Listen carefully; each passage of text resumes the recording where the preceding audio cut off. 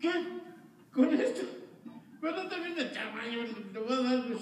Oye, qué bien chaparrita, chiquita. No, no, esto es.